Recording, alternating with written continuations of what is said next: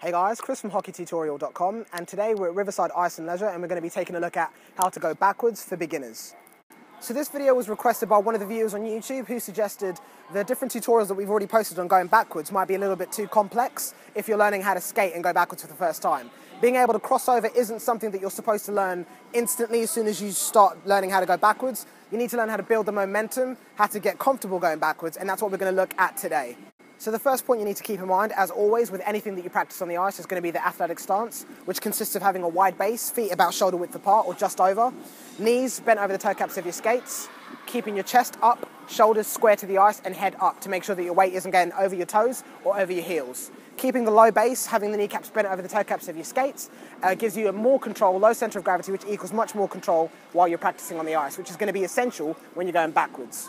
So the first point you want to start off with, just to get used to the motion of going backwards, is to have your hands, keeping the athletic stance that we talked about, put both your hands against the barriers like so.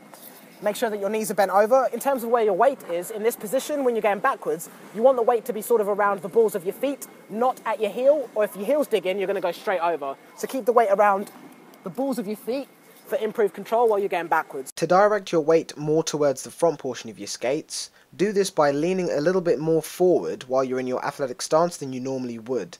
The way you can gauge this is by having your shoulders slightly more over the top of your skates than they normally would be when you're in your athletic stance. The more you push your shoulders forward over the tops of your skates, the more your weight will be directed towards the front portion of the skates. And all you want to do is stand in that athletic stance and push yourself backwards keeping in that knee bend, not bobbing up and down, to just give you a sense of what it feels like to go backwards, and also so you can get used to having your weight distributed around the front portion of your skates. So just repeat the process of pushing yourself off of the barriers until you're comfortable with the motion of going backwards without sort of shaking and wobbling around until you can keep yourself in that nice athletic stance while you're going backwards, keeping the weight controlled to the set or directed rather towards the um, front portion of your skates. That will sort of help you and become more confident while you're going backwards. After you've gotten used to the whole pushing motion, as we showed you earlier, athletic stance, maintaining that low um, center of gravity, pushing out. As we get used to this, what you want to try and doing from this point is adding some lemons in. And what the lemons are is basically when you push yourself going backwards, you want to push your skates out and pull them back in. You just want to repeat this motion as it will sort of um, create the or generate the movement or motion of you actually going backwards. So pushing yourself off is what's made you go backwards. But if you start off with these lemons while you're slowly um, moving backwards, it actually sort of continues and allows you to continue moving backwards. It creates the whole motion. So what you want to do is just practice that. And the way that that works is that you're going to be leaning on the skates inside edges, which are these edges on these sides over here. These are the outside edges. You're going to be pushing out to the sides and then pulling them in with your leg muscles to bring them back together again. Pushing them out and then pulling in. And as you can see, if I repeat that, you can see I'll move backwards.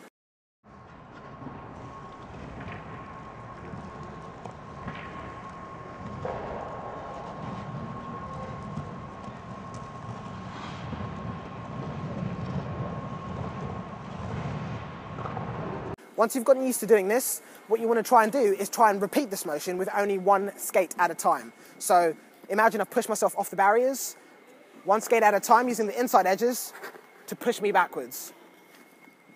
And you can see what this does. It creates a C cut in the ice, which is often referred to as the C cut, which is one of the best ways to learn how to go backwards from the beginning.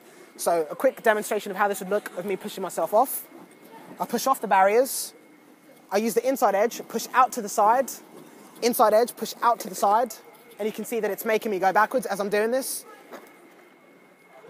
which allows me to go backwards. So after you've gotten used to doing the lemons going backwards, which is just moving your feet out and then in as we showed you previously, you want to try and doing that with one foot at a time. You can start by doing very, very small movements with each foot, just to get you used to it.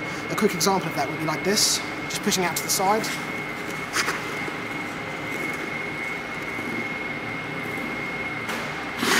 And then after you're fully used to that, you want to get yourself going backwards with the lemon like we showed you, and then push out with C cuts to the side.